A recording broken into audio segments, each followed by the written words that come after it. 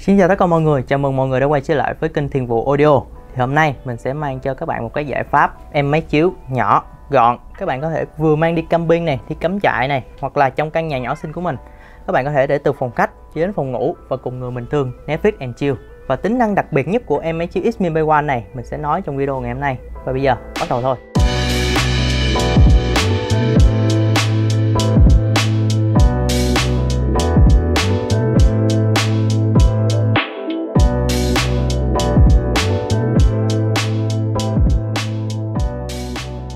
Như các clip review trước thì đầu tiên mình sẽ nói về thiết kế của em uh, Xmin Bay One nha mọi người. Thì mọi người có thấy nó rất là nhỏ gọn luôn. Cái kích thước của nó thì tầm khoảng chừng ờ, một gang tay của mình thôi nha. Khi các bạn uh, di chuyển này các bạn uh, muốn đi camping cắm trại á cầm nắm rất là dễ dàng. Tiếp theo thì ở mặt trước của em máy chiếu này mình sẽ có một cái ống kính nha. Thì cũng không có gì đặc biệt nên mình chỉ nói sơ qua thôi. Và phần bên hông mình sẽ có một cái logo của Boston Acoustic. Đó, Thì cũng tạo một cái điểm nhấn rất là đặc biệt cho em máy chiếu Xmail One này ở phần trên này thì các bạn có thể thấy thì phần trên thì à, sẽ có một cái nút nguồn. Thì với em máy chiếu Xmail One này thì sẽ có một cái nút tích hợp trên đây thôi. Và mọi còn lại thì mọi thao tác thì mình sẽ à, điều khiển trên remote của em nó. Và bên hông á, thì mình sẽ có một cái logo của Xmin đó thì cũng như cái ờ, logo của Boston Acoustic thì cũng sẽ tạo một cái điểm nhấn cũng khá là ấn tượng cho em máy chiếu Xmin One này. Bao bọc xung quanh đó thì các bạn có thấy thì nó sẽ có một những cái đường vân. Đó thì khi mình cầm nắm vô á thì các bạn có thấy là mình cầm nắm một tay như thế này này cũng sẽ chống được cái việc mà trơn trượt ha mọi người. Và ở mặt sau của em máy chiếu này mình sẽ có cái cổng kết nối. Thì các bạn có thể thấy ở đây sẽ có bốn cổng kết nối.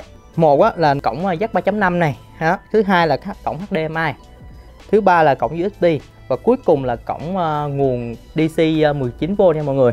Và ở phần trên này á, thì mình sẽ có một cái hệ thống củ loa của à, Boston Acoustic. Thì cái với hệ thống củ loa này á, công suất đâu đó rơi tầm khoảng 5W thôi.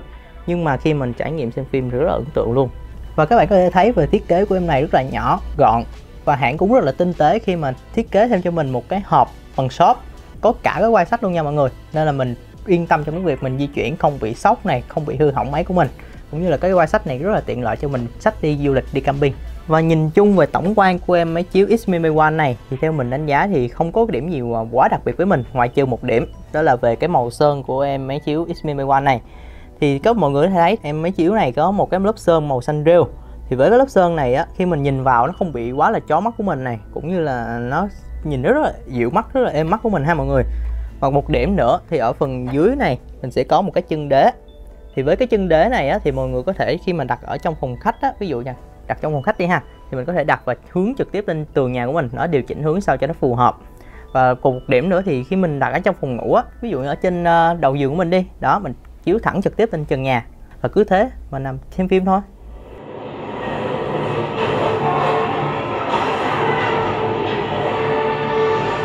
Và về phần công nghệ của em máy chiếu Xmi One này thì em này được hỗ trợ hệ điều hành Android TV 11 nha mọi người và với mức dung lượng là 16GB cũng như là 2GB RAM. Nhưng mà khi mình trải nghiệm thực tế á, thì nó vẫn có tình trạng là hơi bị giật lắc một tí. Tức là khi mình nghe đang nghe nhạc trên YouTube này mà mình muốn nghe nhạc chất lượng cao hơn mình chuyển qua Spotify á thì vẫn sẽ gặp tình trạng là phải đợi em đó vài giây.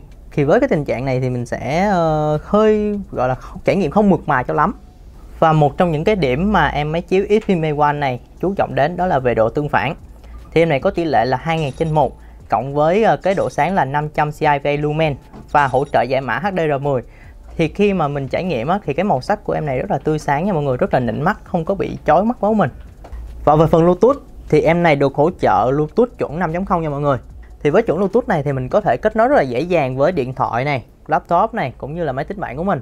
Ngoài ra nữa nếu mà mình muốn trải nghiệm âm thanh của khi mình xem phim á thêm được chân thật hơn sống động hơn mình có thể kết nối bluetooth với uh, các em loa Pixel tại nhà mình hoặc là khi mình đi camping đi. Đó thì mình có thể uh, mang theo một cái em loa bluetooth di động dòng portable á như là em Calip view chẳng hạn thì mình cũng có review về em Calip view rồi. Nếu mà các bạn chưa xem hoặc là muốn tìm hiểu thêm về em Calip view này thì mình có để đường link ở bên góc trái nhé. Thì em máy chiếu X Mini One này được hỗ trợ công nghệ lấy nét tự động nha mọi người. Đó thay vì mọi người phải canh chỉnh thủ công như là các em máy chiếu khác thì em này sẽ hỗ trợ cho mọi người cái việc đó là lấy tiêu điểm này cũng như là canh chỉnh hình ảnh. Nhưng mà khi mình trải nghiệm thực tế á cái việc này nó không có được uh, hỗ trợ được tốt lắm không có được trơn tru lắm. Mình vẫn phải canh chỉnh điều hướng làm sao cho em máy chiếu Xmimi One này có thể lấy được cái nét rõ nhất cái nét sắc nét nhất. Và cái điểm đặc biệt nhất ở trên em máy chiếu Xmi One này ở đầu video mình đã nói đó là em này được Netflix cấp bản quyền. Thì với cái việc mình trải nghiệm xem phim trên Netflix mà có bản quyền á cái chất lượng hình ảnh này cũng như âm thanh này, nó chất lượng cao hơn rất là nhiều so với những cái máy chiếu mà không được Netflix cấp quyền. Tuy là cái điểm đặc biệt của em máy chiếu Xmi Mi One này là được Netflix cấp phép, nhưng khi để nói về một em máy chiếu di động, người ta thường quan tâm về hình ảnh này cũng như là chất âm. Thì mình đảm bảo rằng với cái thiết kế nhỏ gọn cũng như là cái tầm giá này thì em này tốt nhất trong phân khúc rồi. Phần hình ảnh thì em này có thể hỗ trợ chiếu từ màn chiếu từ 40 inch cho đến 120 inch và độ phân giải là Full HD nhưng khi mình tới thực tế á, thì em này có thể hỗ trợ chất lượng hình ảnh tốt nhất từ 100 inch đổ xuống.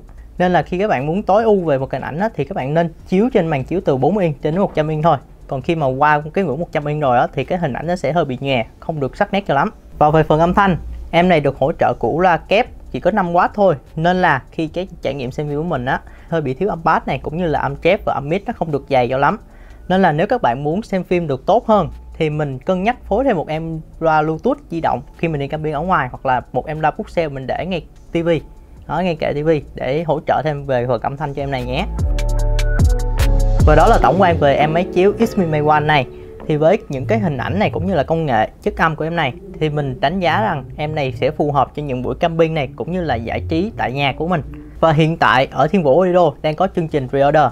Các bạn chỉ cần đặt cọc 1 triệu thôi là có thể giảm ngay 2 triệu tức là các bạn chỉ cần bỏ ra 12 triệu là các bạn đã có thể sở hữu một em máy chiếu mini di động này rồi và nếu các bạn có thắc mắc gì và muốn tìm hiểu thêm về máy chiếu Xmi One này thì các bạn hãy để dưới phần comment nhé và nếu các bạn có thời gian hãy đến trực tiếp showroom của Thiên Vũ Audio để trải nghiệm hình ảnh cũng như là chất âm của em máy chiếu này. Nếu các bạn thấy video này hay, hãy nhấn like, share, subscribe để ủng hộ kênh Thiên Vũ nhé. Bây giờ, chào tạm biệt mọi người.